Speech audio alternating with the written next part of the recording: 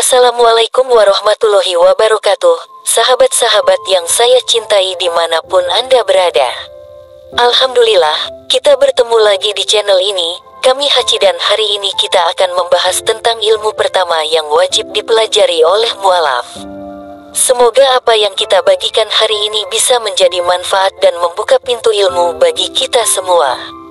Bismillahirrohmanirrohim, mari kita mulai. Ini ilmu pertama yang wajib dipelajari mualaf. Ada ilmu pertama yang wajib dipelajari seorang yang baru saja menjadi mualaf atau masuk Islam. Ilmu syari itu adalah solat. Solat merupakan ilmu yang harus disampaikan kepada seseorang yang baru saja memeluk Islam atau mualaf.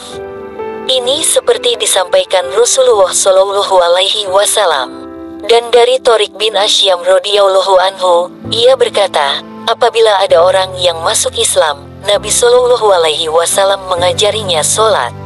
Kemudian beliau menyuruhnya membaca doa ini, Allahumma kfirli, warhamni, wahdini, wa'afini, warsukni.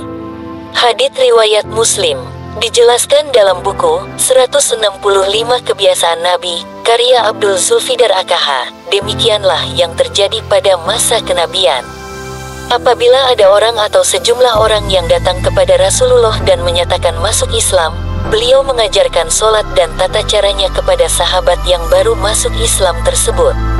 Terkadang, Rasulullah Shallallahu Alaihi Wasallam menyuruh sahabatnya yang dianggap telah pandai dalam ilmu agama agar mengajarkan sholat serta ilmu-ilmu agama kepada saudaranya yang baru masuk Islam. Kenapa sholat yang terlebih dahulu diajarkan kepada orang yang baru masuk Islam? Alasannya, solat adalah tiang agama Islam, solat merupakan pembatas antara Islam dan kafir, dan solatlah amal yang pertama kali dihisap nanti pada hari kiamat.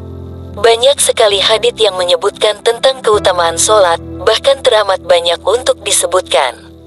Itulah makanya ketika orang masuk Islam, ilmu solat yang mesti pertama kali diajarkan kepadanya, sebagaimana yang biasa dilakukan Rasulullah Shallallahu Alaihi Wasallam. Dalam pandangan Islam, ilmu adalah sesuatu yang sangat penting dan menjadi kunci dalam memahami dan menjalankan ajaran agama. Rasulullah Shallallahu Alaihi Wasallam bersabda, menuntut ilmu adalah wajib bagi setiap Muslim.